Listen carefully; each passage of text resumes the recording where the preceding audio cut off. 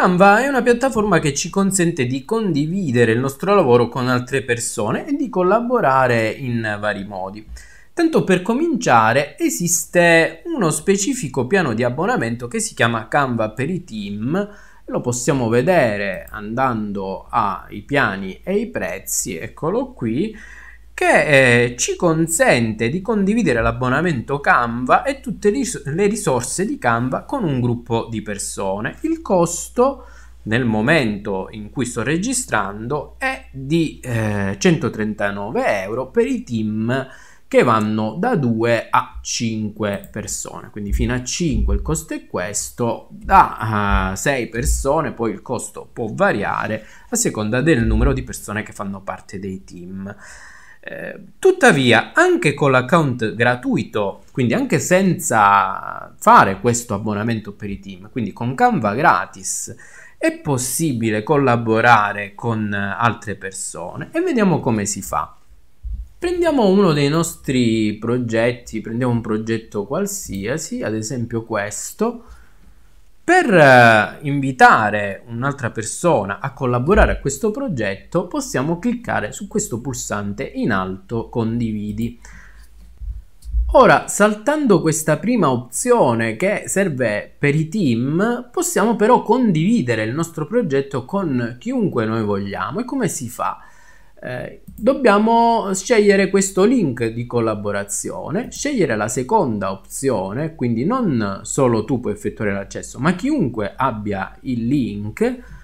E dopodiché qui possiamo modificare il ruolo di chi riceverà questo link. E quindi possiamo fare in maniera tale che chiunque abbia il link possa solo visualizzare il documento ed avremo un link specifico da copiare oppure possa anche commentare e quindi un altro link diverso. Vedete il modifica il link aggiornato. Oppure se vogliamo dare anche la possibilità di modificare il documento a un nostro collaboratore, anche se lui non ha eh, l'accesso a Canva, possiamo farlo utilizzando quest'altra opzione. Così avremo un link che possiamo condividere con chiunque, copiarlo e inviarlo a chi vogliamo eh, con il mezzo che preferiamo, per email, messaggio, ciò che vogliamo.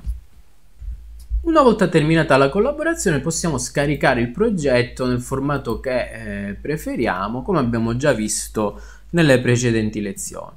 Ci sono poi anche delle altre modalità di condivisione che possiamo eh, trovare cliccando qui su questi tre puntini altro ed ecco che abbiamo uh, di nuovo il link per la sola visualizzazione, il, uh, il, link per guardare il documento, ma abbiamo anche delle altre opzioni. Ad esempio, possiamo addirittura creare un QR code per visualizzare il, il nostro progetto. E così abbiamo trasformato il nostro progetto in un codice QR. Questa è l'anteprima e da questo codice si accede al progetto.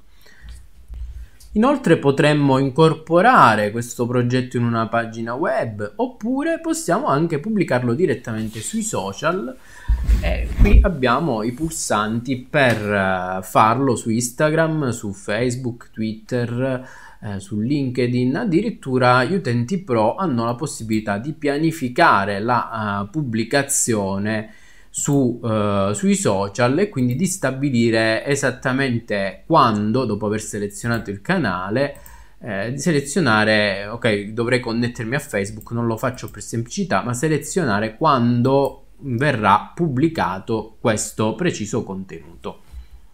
Ok, come potete vedere le opzioni di condivisione sono tante, quindi anche io vi invito a collaborare con uh, le persone che lavorano con voi su Canva e perché no, magari se avete dei clienti di eh, fornire ai vostri clienti un link per visualizzare i progetti prima che eh, li abbiate terminati, in maniera tale da ricevere i loro feedback quando il progetto è ancora in fase di lavorazione.